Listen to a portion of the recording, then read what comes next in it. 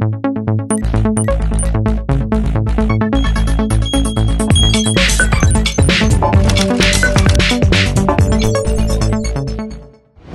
للمزيد حول الأسواق الدولية معي في الاستوديو السيد رائد الخضر رئيس قسم الأبحاث في شركة Equiti Group أهلا وسهلا. أهلا وسهلا. الكثير من المواضيع. خلينا نعم. نبدأ من بريطانيا ومحادثات البريكزت وهالتخبط اللي عم نشوفه من آه، رئاسة الوزراء البريطانية في ظل كل ذلك آه، الاسترليني متماسك بعض الشيء. شفنا اليوم أرقام مبيعات التجزئة جيدة. ما الذي سيحدد مسار الاسترليني؟ وأنتم ما وجهة نظركم على العملة في ظل ما يجري؟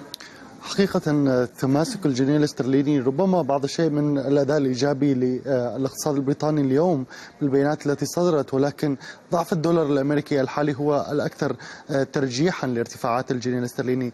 ال- الواقع في ال- المملكة المتحدة أن هناك ضغط سلبي كبير من الجهة السياسية وهناك تخبط واضح مثل ما ذكرتي يضغط بشكل كبير على الآمال أو ال future الخاص بالمملكة المتحدة بعد انتهاء هذه العامين الفترة الانتقالية. هل هي قادرة بمثل هذه الإدارة السياسية وبمثل هذه القيادة السياسية وبمثل هذا البرلمان الموجود حاليا على تحقيق آه، يعني آه، عودة قوية و recovery سريع للمملكة المتحدة؟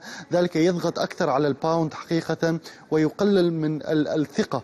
ماذا عن المصداقية. المحادثات وبأي شروط ستخرج بريطانيا يعني كلها مواضيع عالية ضغوط ضغوط مستمرة لم يتفكفك منها أي شيء بالفترة الم... على الرغم من بقاء تيريزا ماي على الرغم من استمرارها في إدارة دفة الخروج لكن آه، حقيقة نسمع الأخبار ونسمع التصريحات ولا نرى حتى الآن أي progress أو تقدم ملحوظ في هذه ال- آه، في هذا آه، ب- بالعكس يعني من الحديث اللي أنت ذكرتيه منذ قليل أنه عم نت- نتأكد أكثر أن الشروط القديمة لا تزال قائمة ولا تزال هي المفروضة وكأنه لا جديد حقيقة آه، يعني يمكن تبنيه ويمكن ملاحظته على الاقتصاد البريطاني. إنما كان هناك اهتزاز للثقة بشكل كبير في الاقتصاد البريطاني وهناك نوع من التماسك. لربما كان هناك عدد وظائف أكثر أو التزام أكبر من آه، ال- الباحثين عن العمل للتمسك بوظائفهم الحالية بالفترة الحالية. لذلك عم نشوف أنه لم يأتي بحلول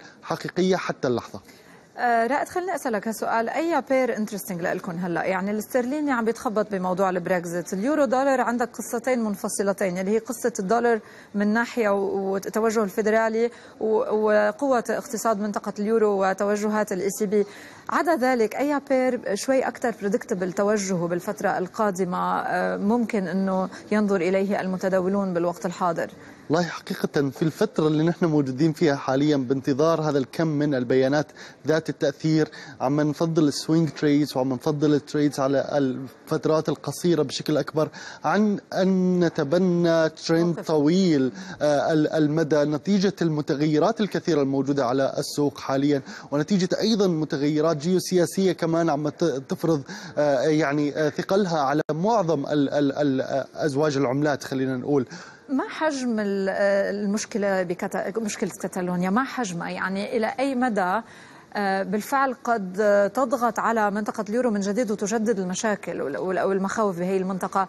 أم لا تزال يعني منفصلة أو isolated حتى الآن؟ ت- ت- تماما. هي limited ومشكلة محدودة بالمقارنة مع ما شاهده الاتحاد الأوروبي حتى الآن من يعني ضخامة اس- خروج المملكة المتحدة وصعوبة تحقيق هذا الخروج حتى الآن. بينما نحن نتحدث عن هذا التوتر ال- القلق السياسي الذي يخلقه خروج أو استقلال كاتالونيا عن إسبانيا. قد يكون له أثر أكبر على إسبانيا بس خلينا نحكي contribution أو آه، آه، يعني آه، ما هي المساهمة التي يخلقها أو يحققها في يخلق النزعات الانفصالية. يعني برجع يعزز النزعات- هذه يعزز النزعات هذه الانفصالية. النزاعات الانفصالية. لكن مؤخرا نحن شفنا إنه أداء المنطقة الأوروبية تحسن. تحسن حقيقه بعد البريكزيت. شفنا بيانات أفضل من فرنسا. شفنا بيانات أفضل من ألمانيا. شفنا هناك تحسن اجمالا وكأنها ردود على أنه آه، الحركات الانفصالية لا تأتي فعلا بحلول جذرية إنما فعلا هي تؤجج بعض آه، ال- ال- آه، يعني خلينا نقول هذه الآراء الانفصالية وإمكانية السيطرة على الحدود وإمكانية السيطرة على الاقتصادات الصغرى. ملحوظ في أداء الأسواق الأوروبية اجمالا رأيناه وكذلك في تعاملات اليورو، اليورو كان عند المستويات 0.4 والآن نحن عم نتحدث عن في أسوأ حالاته عند 16 17 إشارة إلى أنه اليوم أيضا في تغيير جذري بمنطقة اليورو اللي هو خروج خروج شويبلي وزير المالية الألماني اللي هو كان رأس حربة بال austerity وبمعالجة الملف اليوناني. فاليوم لن لن يكون بعد الآن وزيرا للمالية بألمانيا بس يبدو أنه الوزير الجديد المرشح من الحزب الليبرالي أيضا بنفس الصرامة ومع قصة ال austerity كذلك. فهل تعتقد أنه قد نرى أي تغيير بتوجه منطقة أعتقد اليورو؟ هذا هو ال style الخاص بألمانيا على وجه التحديد نجحت في هذا الموضوع نجحت بهذه المدرسة حاليا في السيطرة على الرؤوس الكبيرة داخل الاتحاد مستمرة ربما بهذا التوجه على ما أعتقد نعم.